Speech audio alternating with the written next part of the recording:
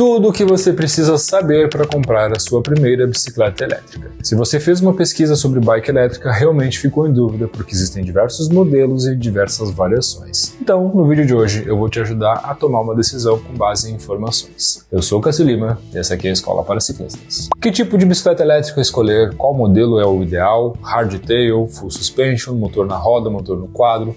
Essas são dúvidas muito comuns e o vídeo de hoje é um guia para te ajudar a escolher a bicicleta ideal para o seu uso. Assim como uma mountain bike normal, as bicicletas elétricas têm variações de tamanho e de modelos. Né? A gente vai entender então que existem os modelos que são chamados de hardtail, que são as versões sem a suspensão traseira, e também as full suspension, né, que são as versões com suspensão dianteira e traseira, assim como é uma mountain bike normal. As bikes HT, as bikes rígidas, elas são as opções ideais para quem está querendo começar no mountain bike elétrico, mas não vai fazer trilhas nem nada do gênero que seja mais pesado. Ela é ideal para estradão ou para trilhas leves. Existem duas variações nas bikes de entrada, que são o motor por indução eletromagnética que fica na roda, aquele motor que é na roda traseira, e depois o motor que fica no meio do quadro, no movimento central. Os motores de roda, aqueles mais convencionais, são para bicicletas geralmente bikes urbanas, apesar de que muita gente utiliza também para fazer estradão bikes mais de entrada, né? São essas bikes com sistema de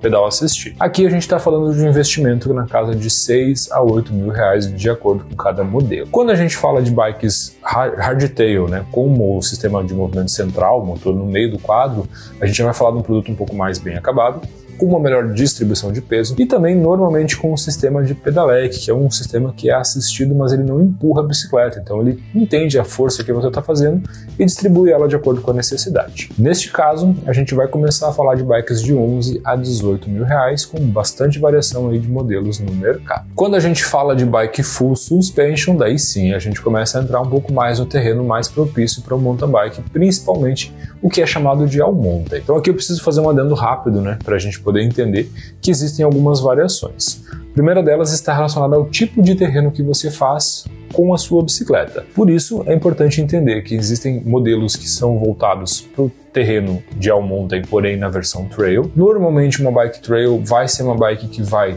subir muito bem, mas também vai descer muito bem. Então, curso de suspensão de 120 a 140 milímetros e uma posição de geometria que fica entre o comfort e o race, né? o meio do caminho entre o agressivo e um pouco mais confortável. Diferente um pouquinho das bikes de enduro, que também são muito famosas no mercado devido à sua robustez, principalmente pela questão do seu curso de suspensão, que passa a ser um pouquinho maior, né, 160 até 180 milímetros de curso, e também poder de parada, geralmente são quadros mais robustos e também são quadros um pouco mais pesados. No meio do caminho entre a trail e a enduro, a gente vai ver algumas versões de bikes que são chamadas de down country, que ela é uma mistura entre o cross country, que é o bem convencional do nosso mountain bike, e o downhill, né? Ficando exatamente no meio do caminho. Então uma bike que serve tanto para subidas quanto para descidas também, porém com uma posição um pouco mais sentada do ciclista, né? Um ângulo de ataque um pouco maior. Tomando essas informações que a gente precisa entender, aqui a gente tem a maior parte das variações das bicicletas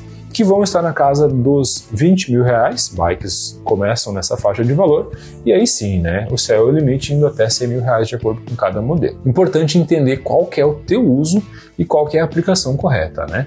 Conheço pessoas que usam bike full para estradão e também conheço pessoas que usam bike rígida para trilhas. Não é o mais indicado, mas funciona. Então aqui eu estou dando realmente uma lapidada no assunto para a gente poder entender que existem essas variações. O que é melhor e o que é pior, claro, vai ficar ao seu critério. O que não é melhor nem pior é você dar like nesse vídeo, né? Pois afinal de contas dá bastante trabalho a gente produzir esse tipo de conteúdo.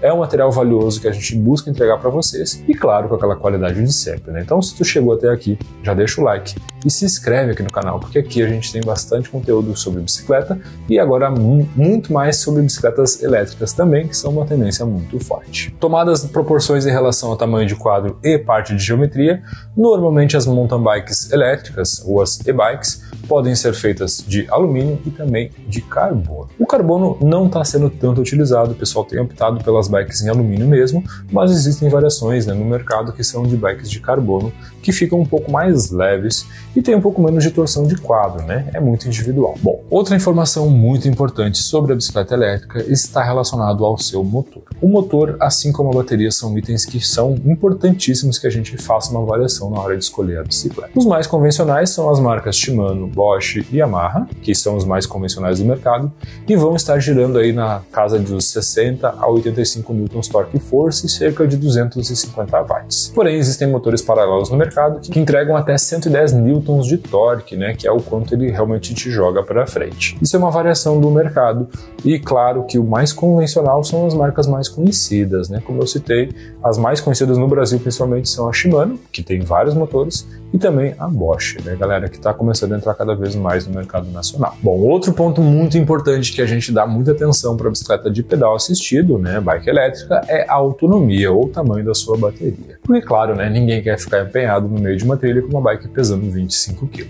As baterias mais convencionais no mercado começaram a surgir com 300 watt-hora, né, porém hoje já quase não se utiliza mais, são baterias bem pequenas. Hoje o convencional é 500 watts-hora, 503, e aí a gente tem variações com 700, 630, 700 e até 800 watts. Muito variável de acordo com cada bicicleta e de acordo com cada modelo. Hoje, uma bike que vai te oferecer uma bateria de 500 watts-hora, ela vai te atender aí em torno de uns 30 km em um pedal com bastante subidas, bastante altimetria, ou até uns 100 km aí com bastante, com um terreno bastante plano e claro, né? Sabendo economizar. Eu sempre gosto de usar o exemplo do carro, né? Porque é uma coisa que todo mundo tem, todo mundo entende, né? Um carro 1.0 versus um carro 2.0. 1.0 pode ser muito gastão se você pisar demais, né? Andar sempre no 10 lá, ele vai dar muito gasto de gasolina. E o 2.0 pode ser econômico se você souber utilizar ele também. Então, por isso, o, o volume, né, que a gente entrega de pedal para uma bike de pedal assistido, ela é muito individual. Eu tenho casos de conhecidos meus que conseguem fazer até 150 km. Isso não é regra, tá? Mas conseguem fazer fazer até 150 km em pedal com um pouco de altimetria. Porque, claro, sabe dosar, e utiliza muito do pedal, né? Não utiliza muito do motor. Então existe essa pequena variação. Em via de regra, a gente vai andar de 30 a 100 km de acordo com o tamanho da bateria. Os últimos lançamentos que chegaram no mercado estão entregando baterias de 800 Wh com um carregamento rápido, que é um item muito legal, que faz com que você possa dar uma carga com pouco tempo, né? Então você conecta a sua bateria lá e pouco tempo ela já está carregada. E 800 Wh é quase o dobro do que os 500 que a gente tinha inicial, né? Então a gente está vendo um crescimento muito rápido. Claro que aí você vai ter que desembolsar um pouquinho mais, pois afinal de contas, qualidade está aliada a valor, como gosta de falar um conhecido meu. Uma coisa que eu tenho visto é realmente muito preconceito em relação à bicicleta elétrica e esse preconceito vai ser quebrado ra rapidamente. Afinal de contas, ela é uma modalidade esportiva, não é um motor que vai te empurrar, não é nada que você vá acelerar. Se você subir numa bicicleta elétrica e não pedalar, ela não vai sair do lugar, né? Então é importante sim que exista esforço por parte do atleta. Claro que vai existir uma pequena diferença em relação a uma bicicleta normal e uma bicicleta de pedal assistido. Isso a gente vai notar sempre, né? Até inclusive está se criando ligas separadas para a bicicleta elétrica nas provas, porque realmente não dá para botar no mesmo trajeto, né, uma bicicleta de pedal assistido com uma bicicleta convencional. É humanamente impossível a gente comparar as duas coisas. Mas, de maneira alguma, é um problema. Afinal de contas, é uma demanda que o mercado vai construir e essa demanda vai ser atendida. E isso tá tudo ok, né, galera? Eu acho que quem tem a opção de escolha vai escolher aquilo que é melhor para si. O que não pode deixar de fazer é deixar de pedalar ou ficar com receio de sair para pedalar porque está pedalando com uma bicicleta elétrica. Afinal de contas, eu acho que a liberdade está muito nisso, né? A gente está num país livre e cada um faz aquilo que é e aproveita aquilo que é melhor, né, galera? Esse é um conglomerado de informações que são bem úteis para quem está começando nesse mercado, tá um pouco em dúvida, não sabe qual bicicleta escolher. E eu separei aqui para o final desse vídeo uma informação muito importante importante, uma informação muito legal para você que chegou até aqui, que está procurando uma bicicleta elétrica. Nós temos o nosso patrocinador aqui do canal, a Benet Bike, que é hoje a maior loja de bicicletas elétricas do sul do país. Inclusive, né, já tem até uma equipe que roda aí algumas provas correndo com bicicleta elétrica, tenho a alegria de participar de algumas provas já, e eles têm uma consultoria especializada, eles têm diversos modelos à pronta entrega e ainda pegam a sua usada na troca, o que é muito legal. Então, entre em contato através do nosso link, fale que você viu esse vídeo, que você vai ter atendimento super especial e ainda vai contar com uma assessoria na hora de fazer a compra de gente que entende do que está falando e realmente entende de bicicleta elétrica. Fica aí o contato, né, pessoal da Banet Bike, que é nosso apoiador. Faltou alguma coisa? Todas as informações sobre bicicleta elétrica estão reunidas nesse vídeo. Isso é tudo que você precisa saber antes de comprar uma bicicleta elétrica. Se você gostou desse conteúdo, comenta aqui embaixo. Se você quer ver mais material que nem esse, comenta aqui embaixo também que a gente vai produzir mais com toda certeza. Afinal de contas, esse é um universo muito legal e muito divertido. Esperamos que vocês tenham gostado desse conteúdo. O material de hoje era isso. Valeu, galera, e até a próxima.